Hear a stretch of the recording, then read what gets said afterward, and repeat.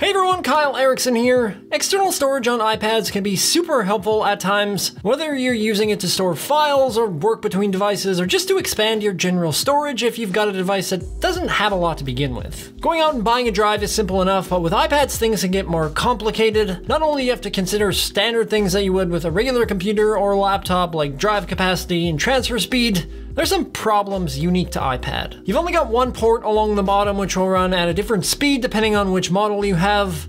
Uh, having a single port also plays into battery life, and on top of that, the way that iPads read and write data with external drives can be wildly different than you'd expect. Today, I want to dive into this topic and the details surrounding transfer speeds, battery life, what to look out for with different storage types, and how you can get the most out of them. So with that said, let's get into it. Alright, so first things first, I'm going to be using four external storage drives to demonstrate and go over a lot of this material as it relates to iPads in particular. There's the cheapest out of the bunch, this Orico UFSD thumb drive. We'll get into the SanDisk Extreme Portable SSD, Samsung T7 Shield, and finally this Acasis USB 4 enclosure with a Western Digital SN770 installed in it. All of these drives have strengths and weaknesses, which we'll touch on in a bit, but before we do that, let's back up a second and just ask, why would you buy one of these products for your iPad? Well, it probably wouldn't have made sense in the past, but since iPad OS 13, iPads have slowly started to add more features that allow you to use your iPad more like a computer or a laptop. And with advancements in Apple Silicon, they now have the power to fully support some folks switching from a MacBook or a laptop to an iPad, just scrapping their laptop altogether. Things like external monitor support, creative and video editing apps, improved file navigation, all these things have popped up within the last few years, and the big one that's added is native support for external drives like the ones that I have here. Because you're able to treat the iPad as more of a workstation for lack of a better term, it makes sense that you'd want to be able to hook up an external drive to do things like store media, backups, working files, and other large files without using up all the space on your iPad, which in many cases isn't usually a lot. All the newest additions in the iPad lineup have moved to USB-C ports, so they all look the same in that regard but they have drastically different speeds between each model, some of which end up being a bottleneck when using an external storage drive. The iPad 10 tops out at 480 megabits or 60 megabytes per second, which can be painfully slow depending on what you're trying to do, and it won't use any of these drives to their full potential. The M1 iPad Airport, Airport, ha, that, on the other hand, runs at 10 gigabits or 1250 megabytes per second and can transfer large files relatively quickly and is overall pretty snappy. Finally, the M2 iPad Pro can run at USB 4 or Thunderbolt speeds capable of 40 gigabits or 5 gigabytes per second, and rivals the internal SSD drive speeds of some pretty powerful machines. There's something that might be useful if you have a workflow with super demanding file transfer requirements like video editing, or you just want those insanely fast transfer speeds. Knowing that port specification, whether you have one of these models or something else, will give you a pretty solid foundation for understanding how fast a flash drive or an SSD can potentially run on your iPad. Usually if you take a look at a product page for these external drives, they're pretty upfront in telling you what the drive transfer speed is, and if that aligns with the speed on your port. You can also take a look at the USB version supported if you want as well, but unless you have a solid understanding of how that all works, it can be kind of confusing. USB versioning is an absolute mess, and sometimes if you're just looking at the version, it can be kind of misleading. You can see on this drive here, it says USB 3.2 Gen 1, which used to be USB 3.1 Gen 1, which used to be USB 3.0. You can start to see where that confusion comes in. That protocol is supposed to be good for up to 5 gigabits per second, second, but if you look on the packaging, it says it runs up to 100 megabytes, which is roughly 800 megabits, and that is about one fifth of that speed. So for me, I usually just go by the listed transfer speed. Just keep in mind that with any drive, these are advertised speeds or theoretical max values, and chances are you're never gonna reach those speeds, especially on iPads. Let me show you what I mean with the drives that we have here today. These are all the real world speeds of these drives exclusively on the iPad. Most of these tests I've done on the M1 iPad Air where the M2 iPad Pro was used solely to test out the USB 4 speeds on the Acasis enclosure. You'll notice that everything is well below the advertised speed, which is to be expected. the Acasis with the SN770 and it is still blazingly fast. The SanDisk and Samsung speeds are still very quick and the flash drive lags behind quite a bit. If these numbers don't mean anything to you, I did some real world file transfers, reading and writing a 10 gigabyte file on each of these drives, which just for context would be about two hours of 4K video on a streaming platform like Netflix or Disney Plus. The USB 4 drive made the round trip in just under eight seconds, where the SanDisk and Samsung drives are fairly similar to each other coming in at 34 and 45 seconds. The Orico thumb drive dragged on to a minute and 37 seconds in one format and over two minutes in another. That formatting is really important to note and we'll come back to that in just a minute, but as you can tell, outside of the flash drive, things are pretty fast. If you've got an iPad Air or a Pro and you're using it more like a laptop or even to offload some larger files or backups, the speeds that these middle of the pack SanDisk Extreme and Samsung T7 drives deliver are going to be more than fast enough in most instances. If you do have the iPad Pro and you want those extremely fast speeds for almost instantaneous file transfers, or if you're doing a lot of 4K video editing or something super demanding working off external storage, then maybe it makes sense to pick up a drive with USB 4 or Thunderbolt speeds. Right now, you might be wondering what on earth a little flash drive like this could possibly be good for, given how much slower they are, so let's explore that a little. Outside of the fact that these are much cheaper, there's a couple of reasons as to why you might consider a thumb drive like this Orico UFSD over these SSDs. If your usage is just really basic, stuff like throwing files or photos onto a drive for safekeeping, or anything where you don't care about speed,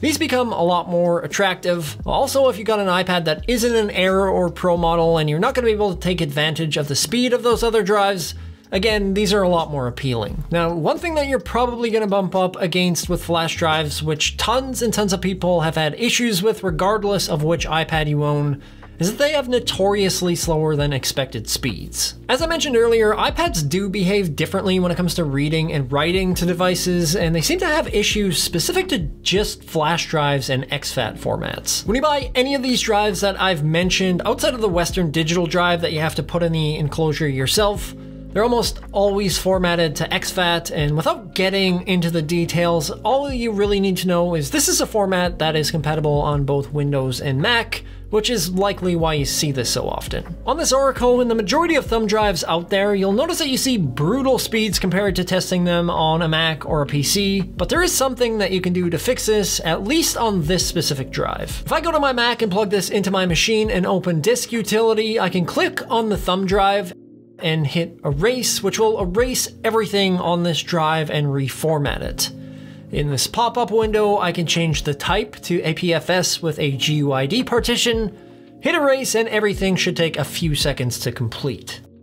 The catch to all of this is that APFS is exclusively designed for Apple devices, so you will lose the ability to use this drive on Windows, but the advantage is APFS formats are generally a little bit quicker, and they're less prone to corruption, so it's a much more ideal format if you're just in the Apple ecosystem. Once you do that, you can see that read speeds are almost four times faster, still not anywhere near these other drives, which by the way don't seem to have their speed affected in either of these formats, but with APFS on this flash drive, and likely others as well, you'll see a considerable difference that makes them much more usable, and for iPads specifically, these have one huge advantage over everything else. Because we only have a single port available, one thing that we need to take note of is battery life. I know that you can use a powered USB hub so that you don't have to worry about battery life, but that's a topic for another video. And for this video, we're just going to assume that we're on battery power. Now, iPads these days have generally great battery life on their own, but when you plug drives like these in, that can change pretty quickly. I wanted to test out the effect that these drives have on battery life, so I played a 45 minute 10-bit H.265 video on repeat on the iPad Air M1